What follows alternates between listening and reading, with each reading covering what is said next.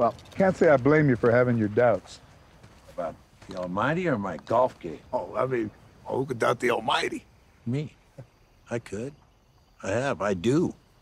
And I'm not up for this ludicrous mission unless you have a robotics person who can give me back the body and game I had when I was 30. Well, my part in this mission is, Joe, I get you to trust and believe. And your part is to turn all of that self-doubt right there into faith. Now, how about, how about you hit me a ball?